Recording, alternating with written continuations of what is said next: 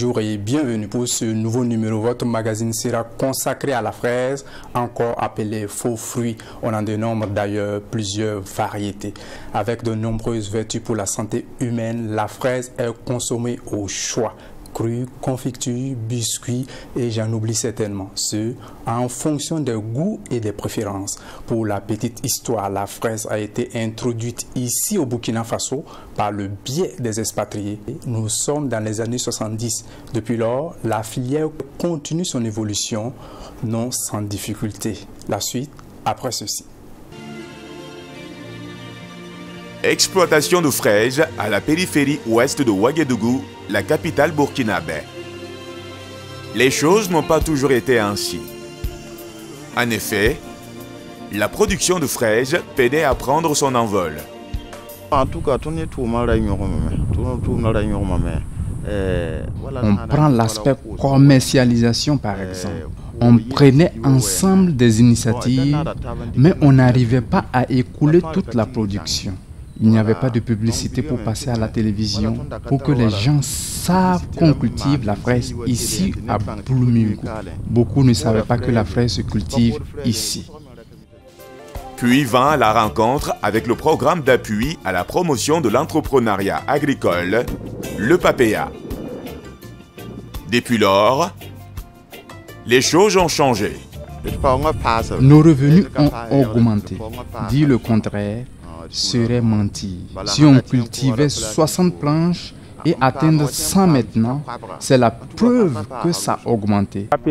L'appui du PAPIA nous a été vraiment bénéfique. Dans ce que nous faisons, si nous pouvons avoir 50 francs de par le passé, avec l'arrivée du PAPEA, tu peux avoir 100 francs CFA. Ils sont venus nous aider avec des matériels de travail et cela est d'une grande importance pour nous. L'accompagnement du PAPEA nous a permis d'avancer. Il a fallu aux premières heures réorganiser et redynamiser les acteurs. Quand nous avons commencé, les acteurs étaient un peu démotivés parce que ça faisait longtemps que les activités s'étaient arrêtées on a été obligé de redynamiser en fait la cluster, identifier à nouveau d'autres acteurs pour compléter les acteurs qui sont partis et encourager à nouveau les acteurs qui étaient partis à revenir pour en fait commencer à lancer des activités avec eux. Donc la première activité qu'on a menée avec eux, c'était un atelier de redynamisation des clusters où les acteurs en fait ont exprimé leurs attentes et leurs besoins vis-à-vis du programme. Et justement, l'une des attentes était l'accès au financement une éclaircie a été apportée. D'abord, identifier un certain nombre d'IMF, de structures de microfinance, qui offrent en fait des crédits adaptés aux producteurs. Donc, on les a regroupés dans un atelier, on a, on a organisé avec eux un dialogue d'affaires.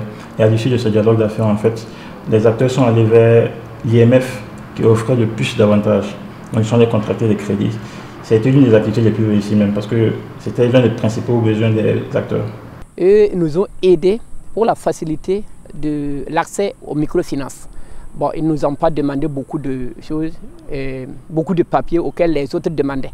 Voilà.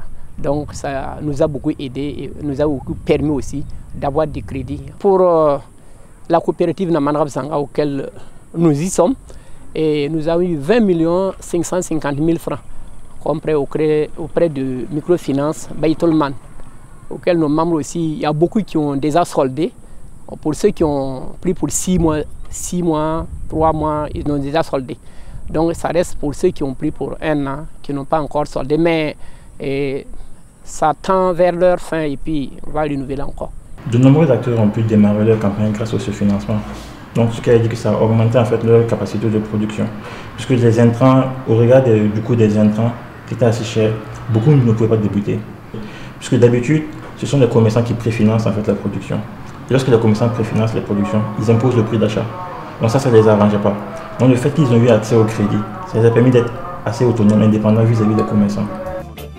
Les producteurs ont vu également leur capacité se renforcer. Le renforcement des capacités, c'était sur l'itinéraire technique de la fraise.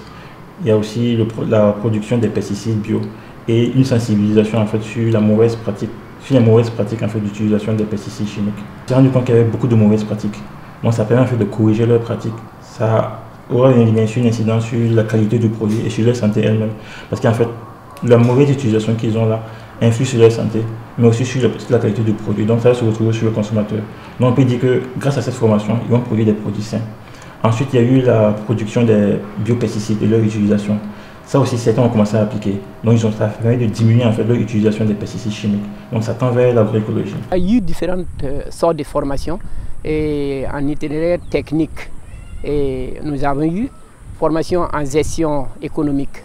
Et nous avons reçu, nous avons reçu des formations euh, en exploitation et agricole. Bon, il y a eu beaucoup de formations auxquelles nous avons eu. Pour la formation du compost, ça nous a aidé ça nous a aidé. Si vous voyez dans les différentes euh, parcelles auxquelles nos membres exercent, vous allez voir que chacun a un trou de fumier et auquel il enlève là-bas pour pouvoir gérer ses produits. Donc euh, dans ça, nous ne pouvons pas mentir, ça nous a aidé et puis la production est fluide. Donc euh, c'est très bien.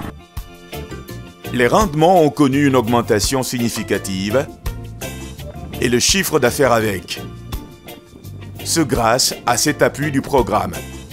Avec l'appui du PAPEA, et avant quand le papier n'était pas là, quand nous ne connaissions pas PAPEA, et dans notre rendement, on estimait à 2 tonnes de rendement de chaque année.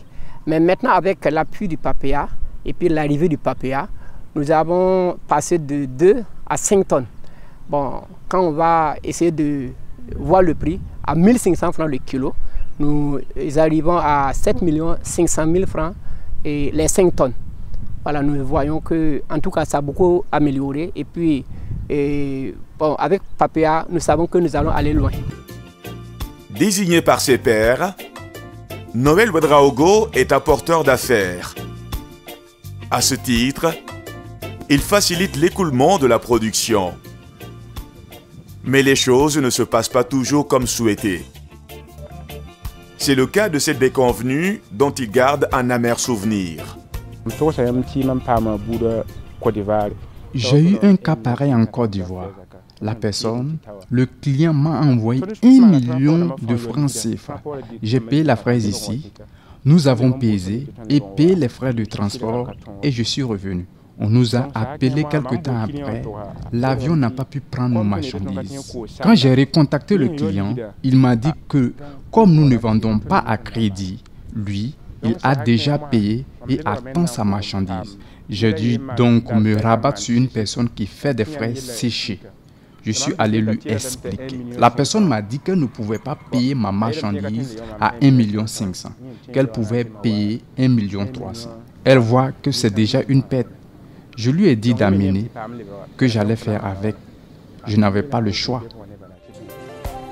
C'est d'ailleurs pour cette raison qu'il plaide pour que des actions soient entreprises afin d'éviter de tels désagréments. Qu'on nous aide à ce niveau pour qu'on puisse avoir des vols pour l'écoulement de nos marchandises afin de nous éviter à chaque fois le manque de place. C'est vraiment à ce niveau notre véritable problème c'est de nous aider dans ce sens pour que les marchés que nous gagnons, que nous puissions écouler rapidement. Si on dit de récolter et après on te dit qu'il n'y a pas de place, c'est un véritable problème. Une autre alternative qui pourrait faire tache d'huile est sans doute la transformation. La chaîne de valeur, comme le suggère d'ailleurs le président de la coopérative. Si on produit beaucoup, par moment, l'écoulement est difficile. Notre doléance, c'est qu'on puisse avoir des formations dans le cessage, la transformation en produits dérivés. Ça pourrait être un avantage certain pour nous. Il faut aussi augmenter la publicité, car beaucoup de personnes ne savent pas que la fraise se produit ici au Burkina Faso. On dit qu'on importe ça. Or, c'est produit ici à Boulmougou. À côté de l'écoulement, il y a l'éternelle question de l'eau un véritable problème pour ces producteurs. Quand l'eau diminue, le travail s'arrête. Ce n'est pas la production qui est finie, mais c'est l'eau qui est finie. En ce moment, c'est une perte pour nous. Donc, nous demandons à ces bonnes volontés qui peuvent nous aider à résoudre ce problème qu'ils le fassent. Mais avant, il faille travailler à stabiliser le prix de vente de la fraise. Harmoniser le prix, non seulement harmoniser le prix, mais aussi prévoir en fait un comptoir où tous les producteurs allaient envoyer leurs produits et les acheteurs allaient venir se retrouver au niveau du comptoir. Ne plus autoriser les acheteurs à venir directement au champ. Parce que lorsqu'ils viennent au champ, ils ont l'occasion de négocier individuellement avec les producteurs. Alors que les producteurs trouvent qu'avec un comptoir, tout le monde se met ensemble, on fixe un prix dans la journée et tout acheteur qui vient achète à ce prix. Bon, ce qu'on recommande, c'est plus d'investissement systémique, plus ce que les producteurs demandent. Les investissements qui sont hors de portée de la capacité des producteurs. Par exemple, le comptoir, c'est quelque chose qui, sans l'intervention du papier ou bien des bailleurs, les producteurs ne peuvent pas réaliser ça eux-mêmes. Aussi, les entrepôts, ils ont demandé à ce qu'on leur construise euh, des chambres froides. C'est quelque chose aussi, c'est des investissements qui sont en fait hors de leur portée. Ils ont forcément besoin euh, d'appui extérieur pour réaliser ce genre d'investissement. Donc ce serait que Papea les accompagne en fait à réaliser ce genre d'investissement. La fraise a de beaux jours devant elle au Burkina Faso. Reste à résoudre les différents problèmes du secteur, notamment les facteurs eau et celui de l'écoulement. Après le défi réussi de la production, c'est donc sur ces chantiers qu'est attendu le PAPEA, le programme d'appui à la promotion de l'entrepreneuriat agricole porté par le consortium Helvetas SNV.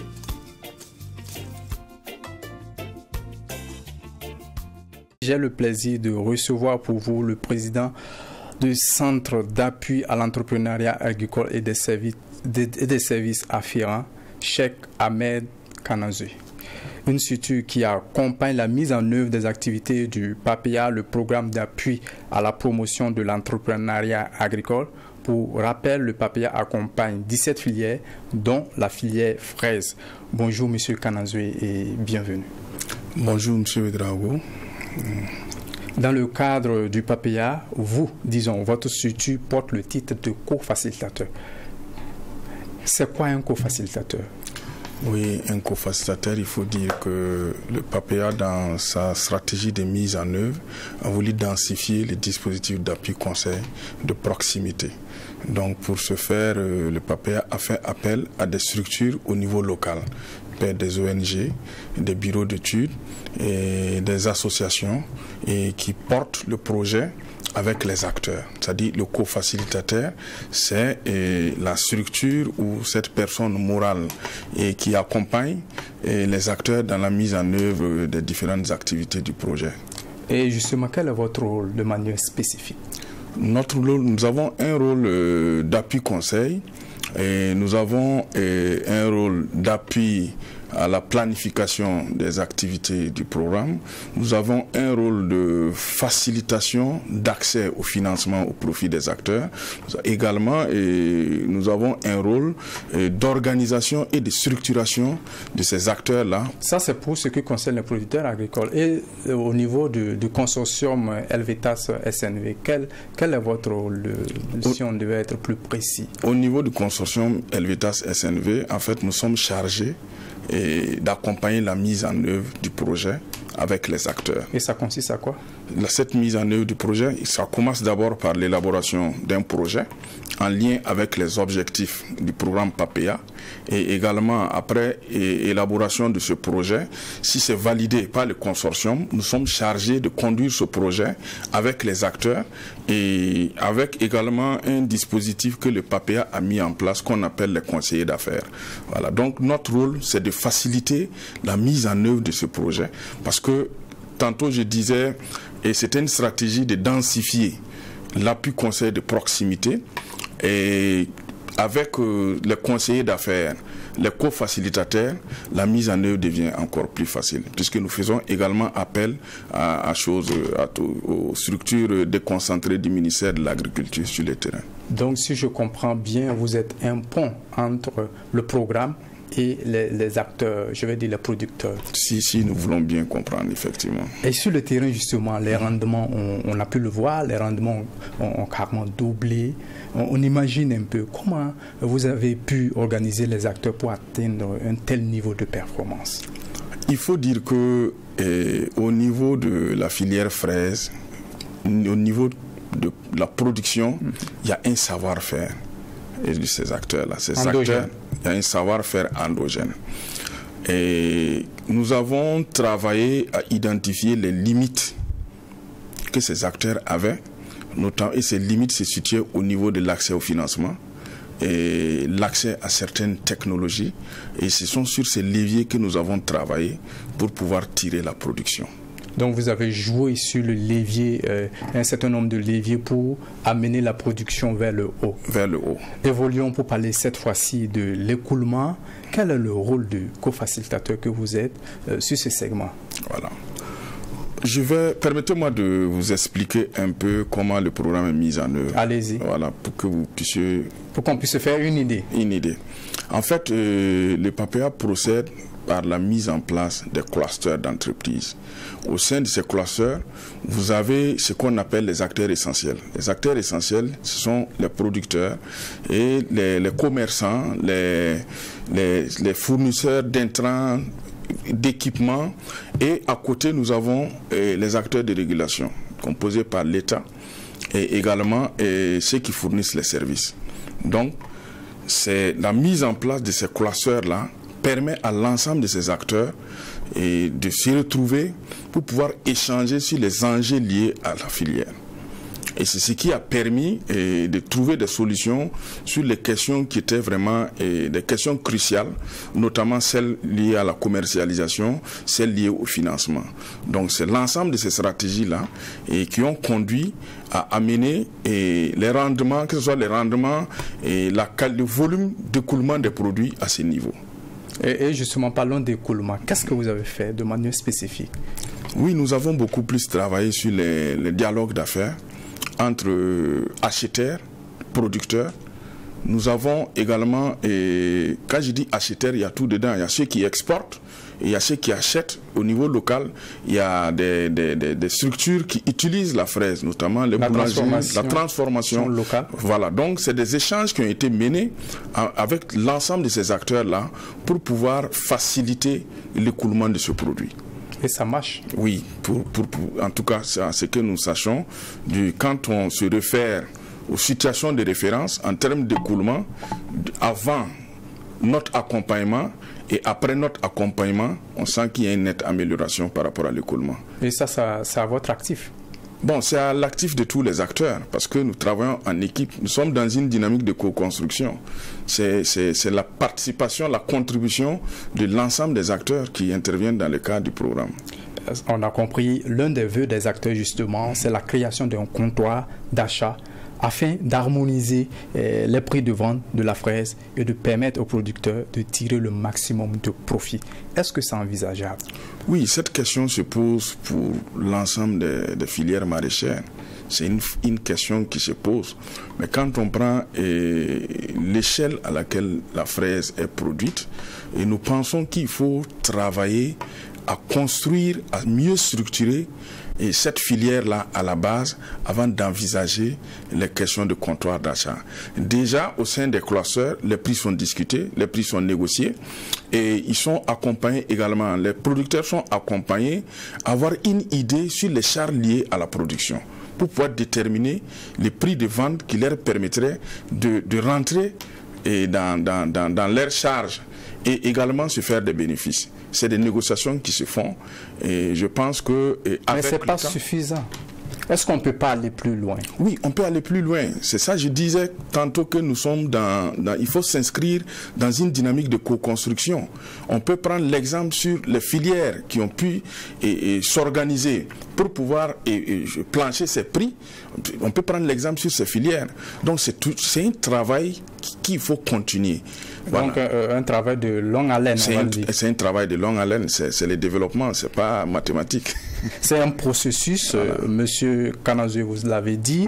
Euh, la fraise burkinabé, on va le dire ainsi, a bonne réputation à l'international. Problème, le transport, il se fait par avion, mais il y a des difficultés de place, donc des pertes pour les producteurs agricoles. C'est d'ailleurs sorti dans le reportage qui vient de passer. Est-ce qu'il y a des solutions à ce niveau? Bien sûr qu'il y a des solutions, parce qu'il faut, il faut continuer les échanges. Les questions liées à la place, ce n'est pas uniquement euh, le fait de, la, disponibilité de la place, il y a les questions liées au coût, au coût du transport. Mais si on arrive à, faire une bonne planification et à, trouver des canaux d'échange avec les compagnies de transport pour que également ils puissent mettre leur main dans la pâte pour pouvoir faciliter ce transport. Effectivement, comme vous l'avez si bien dit, la fraise du Burkina Faso, elle est beaucoup prisée. En Côte d'Ivoire, à côté, à Lomé, à Lomé et Accra, c'est vraiment un produit qui est, qui est vraiment prisé. C'est un label qui est beaucoup demandé. Qui est beaucoup demandé, mais malheureusement, on a, on a des difficultés liées au, au transport. Et ces difficultés-là ne sont pas uniquement liées à la disponibilité de la place, il y a aussi les questions de coût pour moi, je, je prends l'exemple de, de, ce jeune-là qui vient de passer tout à l'heure dans le reportage, Noël Ouedraogo. Il a tout payé. Il a, il a accompli tout ce qu'il y a comme formalité. Il rentre chez lui, on l'appelle, on lui dit que malheureusement qu'il n'y a pas de place de venir chercher. Oui, c'est ce que je disais. Quand je dis continuer les échanges, ceux qui sont dans le transport doivent comprendre les enjeux liés au retard dans le transport des fraises. C'est un produit très périssable. Et comment est-ce qu'on les amène à comprendre cela? Donc, c'est des acteurs également qu'on a pu identifier dans l'environnement avec qui il faut échanger pour qu'on on puisse être au même niveau de compréhension par rapport aux conditions de transport euh, de la fraise. C'est vrai. Et le monsieur qui a peut-être enregistré, et qui a tout pris, après il s'est dit, bon, il n'y a pas de place, on peut, on peut reporter. Mais il ne sait pas que le produit ne peut pas attendre ça. Donc Mais justement, lui, son, le souci, c'est qu'il avait déjà tout fait et on l'appelle de venir récupérer. Et il a dû brader, il a perdu pratiquement 200 euh, 000 francs CFA. Oui, c'est un cas malheureux. Mais il faut également, les échanges ne peuvent pas se faire uniquement entre les acteurs essentiels tous ceux qui interviennent dans les transports, on doit pouvoir les amener à comprendre les, les, enjeux liés au, délai de transport pour, pour ce produit-là. Parce que si on arrive à le faire, et ça serait assez intéressant. Ça sera assez intéressant. Est-ce que vous arrivez d'être confronté à des situations difficiles sans pour autant avoir des solutions clés à main?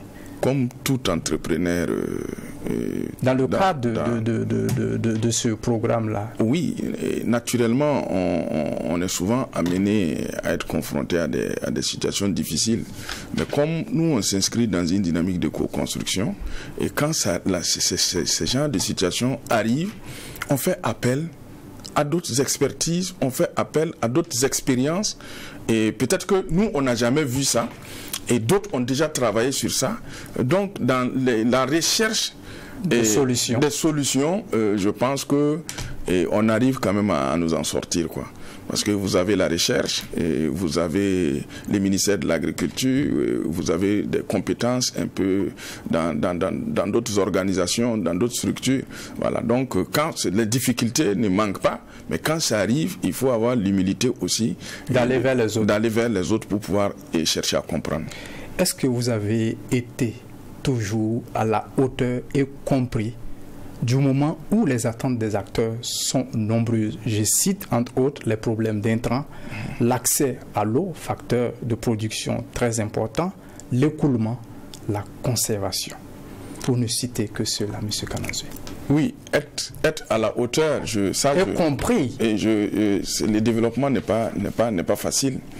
Et nous pensons que c'est un chemin assez long et qu'il faut, c'est-à-dire dans, dans cette marche-là, il faut travailler à amener tout le monde vers les résultats escomptés. C'est ça. Et c'est pas toujours évident. C'est pas toujours évident. C'est pas toujours évident. Surtout que l'approche que le PAPIA utilise actuellement, c'est vraiment une approche qui au départ n'avait pas été comprise par les acteurs.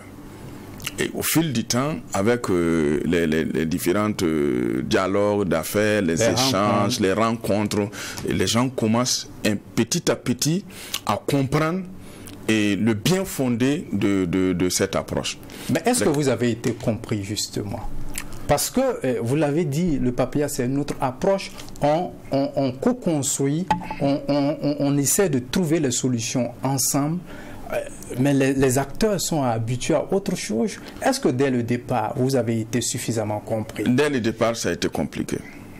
Dès le départ, ça a été compliqué parce que le papier, ce n'est pas un programme pro-pauvre, pas un programme qui vient de solutions euh, clés en main? Clés en main, non. Le papier s'inscrit dans une dynamique de co-construction. Nous avons des difficultés et nous connaissons qui et qui sont intéressés par la filière, dont on s'assoit ensemble, on échange, on trouve des solutions.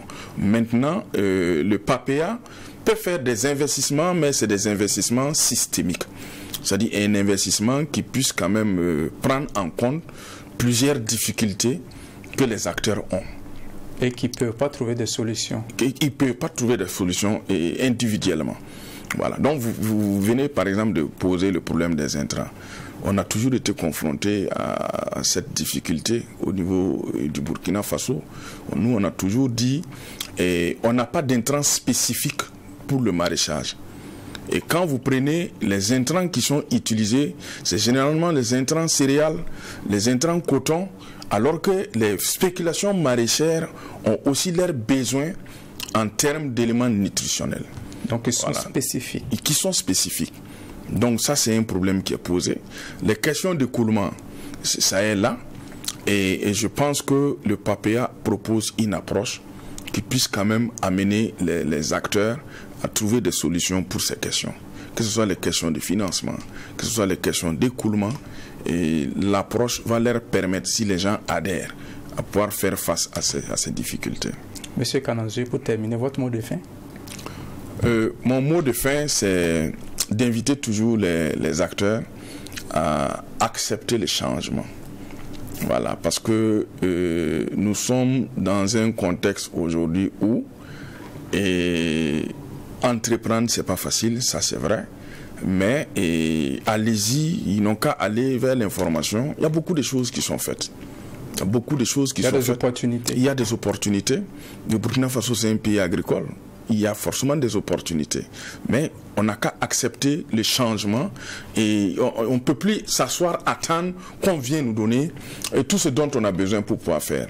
C'est plus facile d'accompagner quelqu'un qui exerce une activité que d'accompagner quelqu'un qui dort.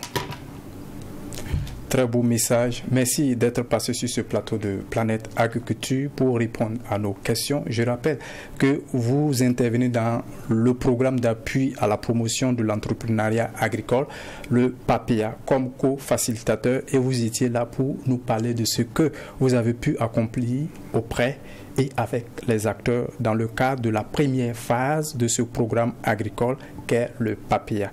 Merci d'être passé, M. Kananzui, et à la prochaine. Merci également à vous qui nous avez suivis depuis chez vous. Toute l'équipe technique se joint à moi pour vous dire merci de votre fidélité renouvelée. Quant à moi, je vous donne rendez-vous très bientôt, Dieu voulant, pour un autre numéro sur les questions agricoles. D'ici là, portez-vous bien.